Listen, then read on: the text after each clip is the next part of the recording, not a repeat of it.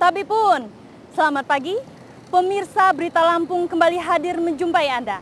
Bersama saya Iin Hermayani. Sejumlah berita aktual dan beberapa informasi menarik lainnya telah kami siapkan untuk Anda. Berikut berita utama hari ini.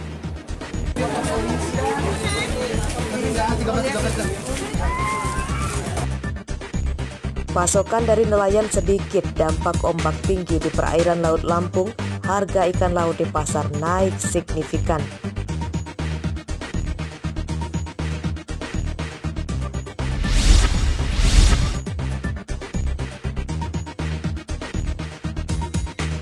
Peredaran senjata api ilegal masih barak.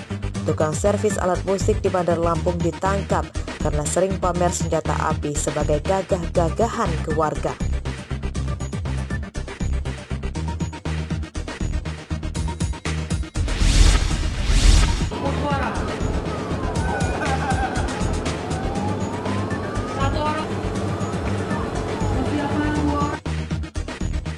Petugas gabungan Syah Bandar dan Basarnas melakukan simulasi penyelamatan ABK kapal yang terjatuh ke laut dan kebakaran gudang.